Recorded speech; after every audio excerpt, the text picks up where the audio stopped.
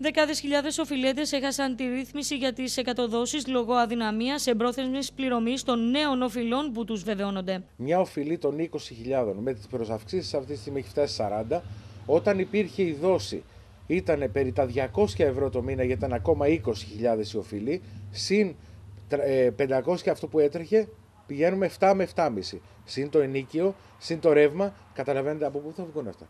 Μιλάμε τώρα για καταστάσεις εξωπραγματικές και δυστυχώς δεν ακούσαν κανένας τόσα χρόνια που φωνάζαν. Ε, τώρα που πλέον αρχίζουν και συνειδητοποιούν τι έχει γίνει, είναι πολύ αργά γιατί έχουν χαθεί και οι δόσεις και όλα. Το στοιχείο αυτό προκύπτει από έγγραφο της Διεύθυνσης Ηλεκτρονικής Διακυβέρνησης της Ανεξάρτητης Αρχής Δημοσίων Εσόδων, το οποίο διαβιβάστηκε στη Βουλή για να απαντηθεί ερώτηση βουλευτή. Με βάση τα στοιχεία, η ρύθμιση έχει χαθεί για 74.000 οφειλέτες, ενώ είναι πολύ πιθανό η ρύθμιση να έχει χαθεί για περισσότερους και στο σύστημα του τάξης να φαίνονται ακόμη ενεργές οι εν λόγω ρυθμίσεις. Το διάστημα που υπήρχε η ρύθμιση των 100 δόσεων μην ξεχνάμε ότι η τρέχουσα οφειλή προς τον ΟΑΕ ήταν για τους περισσότερους επιδευματίες εμπόρους επιχειρηματίες περί τα 500 ευρώ το μήνα. Περίπου 930 έως 1000 το δίμηνο. Άρα, μιλάμε για περιπτώσεις ανθρώπων που πλήρωναν αυτό που έπρεπε να πληρώνουν βάσει των α, 100 δόσεων, συν άλλα 500 το μήνα αυτά που έτρεχαν.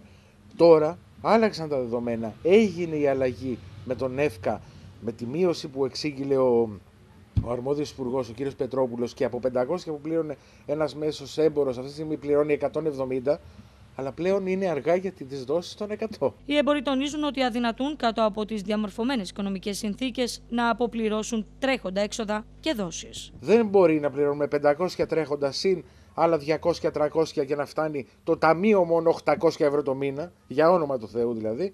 Ε, Έγινε τώρα με τη μείωση του τρέχοντος, αλλά πλέον είναι αργά γιατί έχει χαθεί η δόση των 100. Αυτό σημαίνει τι; Θέλουμε, απαιτούμε τώρα που μπορούμε και τουλάχιστον να μπούμε σε μια σειρά, να πληρώνουμε αυτό το, το ασφάλιστο που είναι χαμηλό πλέον στον ΕΦΚΑ και να μπορέσουν να γίνουν για τα παλιά ένα πάγωμα που ζητάμε τόσο χρόνια, ένα πάγωμα το οποίο θα, ε, δεν θα τοκίζεται, γιατί όπως ξέρετε και τώρα οι οφειλές παλιές τοκίζονται και με μεγάλα επιτόκια, το οποίο στο τέλος του ασφαλιστικού βίου να μπορέσει να διαλέξει ο κάθε ασφαλισμένος πώς θα κλείσει το χρέος του. Από εκεί και πέρα, αν δεν γίνει διαγραφή οφειλών των προσαυξήσεων που ήταν υπέρογγες και δόσεις χωρίς αστερίσκους, χωρίς παρενθέσεις, ε, χωρίς να ζητάνε όλα αυτά που ζητάνε, δεν πρόκειται να γίνει τίποτα.